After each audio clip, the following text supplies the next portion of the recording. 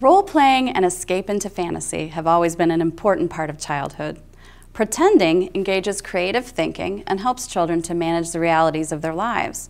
This project helps us express our wild sides, similar to the way Max did in Maurice Sendak's beloved book, Where the Wild Things Are.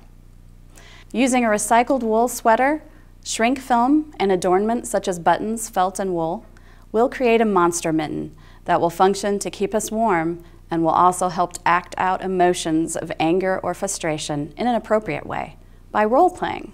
First, find an outgrown or discarded sweater. Wool sweaters are preferable because they can be felted simply by washing and drying them. Felting simply means that the barbed wool fibers have matted and shrunk together from the heat and agitation of the dryer. Thrift stores often have wool sweaters for sale very cheaply that were mistakenly put in the wash. To make the mittens, we'll simply cut the sleeves off of the sweater.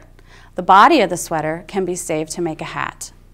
We'll place one arm on top of the sleeve so that the wrist is at the cuff end. If you want a longer mitten, simply move your hand further down from the cuff. Holding the fingers together, but moving the thumb apart, simply trace around the hand, giving yourself about an inch for sewing. Leave as much of the side of the, of the, sleeve intact as you can to minimize the amount of sewing you'll need to do later. Cut the mitten out through both layers, making sure to cut just inside the marker line so it won't show on the final mitten. Repeat for the other hand, and then start embellishing. You can use either stitching or glue to add buttons, yarn stripes, or leopard spots cut out of acrylic felt. For something different, add raw wool with a felting needle. Finally, we'll sew around the cut edges of the mittens on the right side. Bendable plastic needles work well for young students and can handle the thickness of most sweaters. Blunt tapestry needles, like this one, work better on thicker material or for older students. Embroidery floss, yarn, or thick thread can be used for the sewing. I like to use a contrasting color so the stitching becomes part of the design. Finally, we'll make the monster claws. On a piece of shrink film, using permanent marker, draw claws and color them in. Metallic markers really make the claws pop. Adding polka dots, leopard striping, or faux fur designs.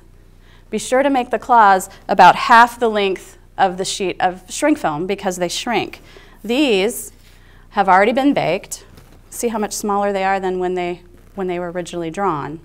Before baking, you'll cut them out and make sure to punch at least three holes at the base of the claw for sewing it to the mitten.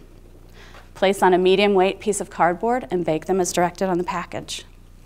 Sew the claws onto the mittens and explore the wild side.